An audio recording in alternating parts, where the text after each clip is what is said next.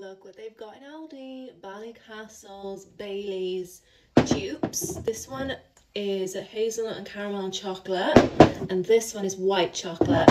Let's get them open and try them out. So first things first, we're going to put some ice in. I do love my like Bailey's Philippines with a lot of ice, but we're going to shake it. We're going to try the hazelnut and caramel first. Let's put all that in there. Ooh, ooh. That one. It smells really nice actually. It's like fudge caramel. And then we're to open the white one. Oh, look at that. Right, now taste test. This one is the white chocolate as you just seen. Okay.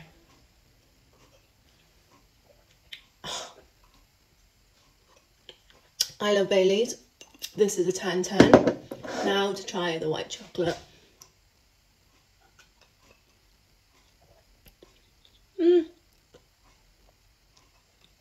Tastes like milk chocolate buttons, but 10-10, so this one, if you can get your hands on it, because I know they sell out very quick, get that one.